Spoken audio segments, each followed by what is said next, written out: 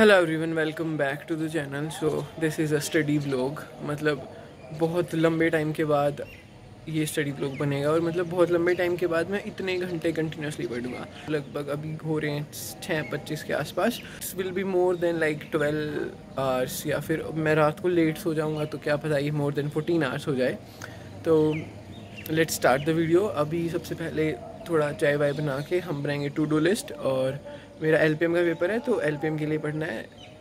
बिल्कुल पढ़ देंगे बहुत अच्छे से। So let's continue with the video और बाकी बारिश हुई थी और जम्मू का आसमान ज़्यादा प्यारा लग रहा है।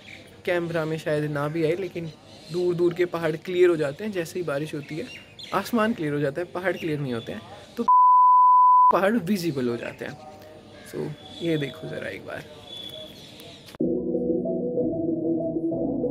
Thank you.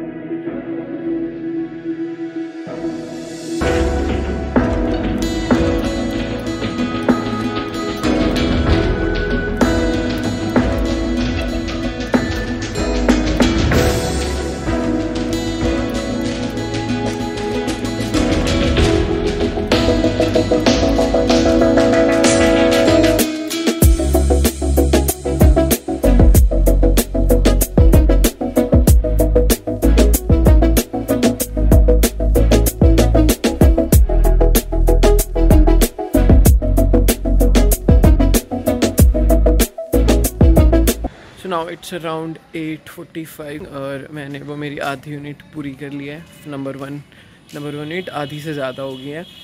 अभी मैं जा रहा हूँ ब्रेड लेने और उसके बाद आफ्टर बाथिंग फिर से कंटिन्यू करेंगे पढ़ाई। एक चीज़ है जैसे अब ये ब्रेड है दिस इज़ जेन्स ब्रेड जबकि आप यूज़ टू होते हो, जैसे कुछ ऐसे ब्रांड्स होते हैं, जैसे मान लो बोन हो गया। वो ऐसा नहीं है कि यहाँ मिलता नहीं है, लेकिन इतना वाइड स्प्रेड नहीं है जितना हरियाणा में बेसिकली मैंने देखा है। और दूध के साथ भी एक यहाँ पे अमूल का आपको होमोजनाइज मिल्क मिल जाता है इजीली लेकिन फ्रेश मिल्क अमूल का नहीं मिलता है।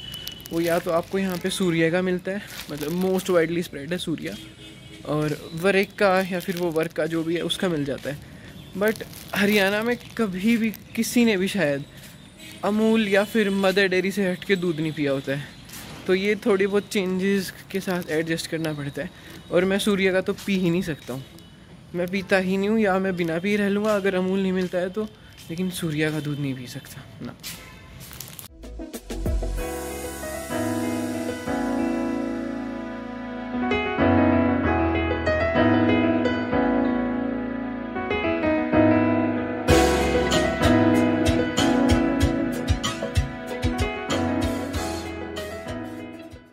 अभी बज रहा है दोपहर के दो and I have completed unit number one successfully अभी रहती हैं बस दो unit unit number two is relatively very short and unit number three थोड़ी बड़ी है.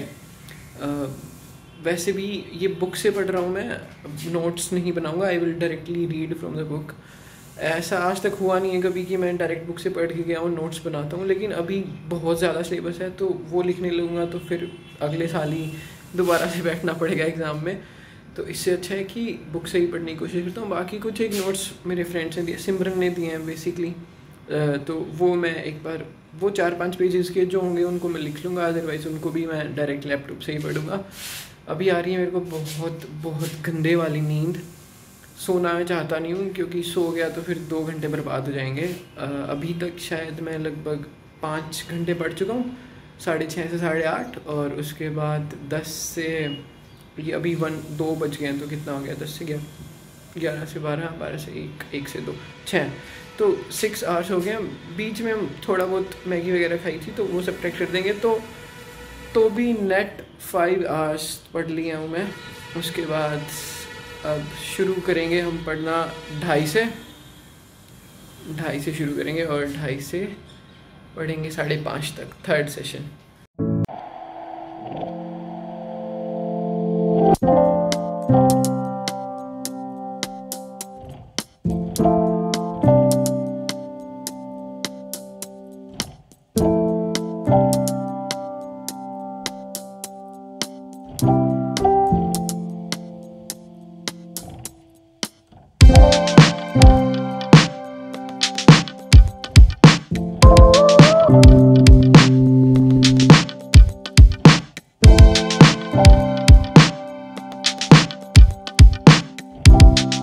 पीएम अभी तक मैंने कितने घंटे पढ़ लिया पूरे नो, एट, नाइन आवर्स पढ़ लिया है।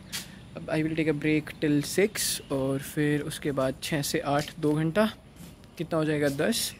और अभी तो मैंने कंप्लीट कर लिया है पूरी की पूरी फ़र्स्ट यूनिट सेकेंड यूनिट दोनों। अब सिर्फ़ एक यूनिट बची है that is unit number three और यूनिट नंबर फाइव मैंने पहले से की हुई है, बच गया कल के लिए सिर्फ़ यूनिट नंबर फोर और रिवीजन तो एलपीएम पेपर नंबर वन बहुत अच्छा जाएगा।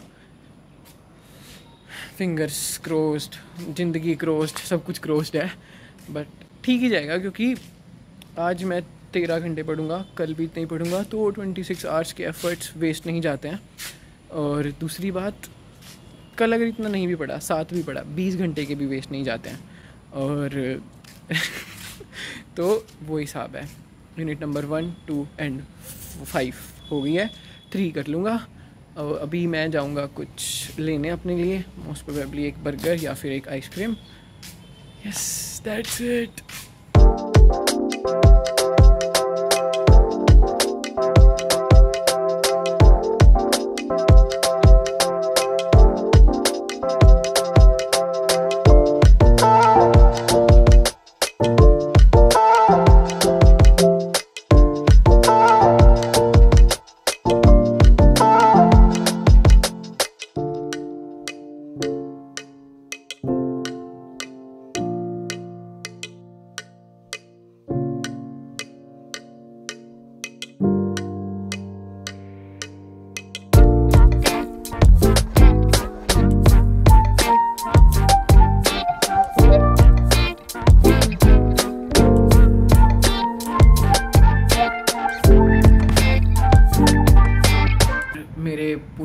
दस घंटे।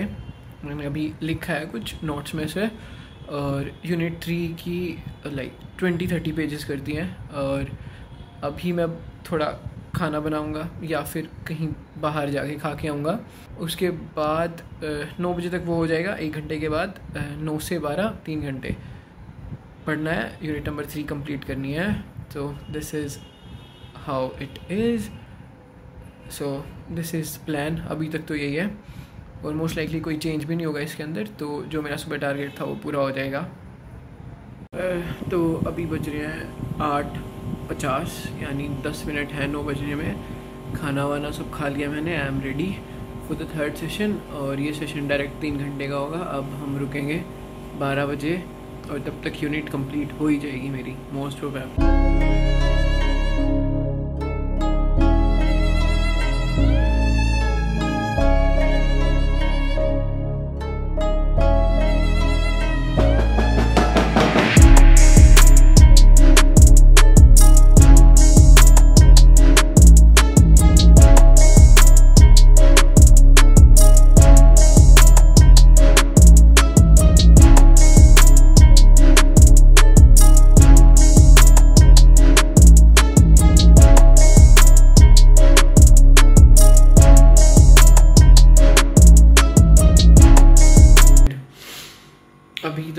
पढ़ते हुए हो गए हैं, बारह, सवा बारह घंटे।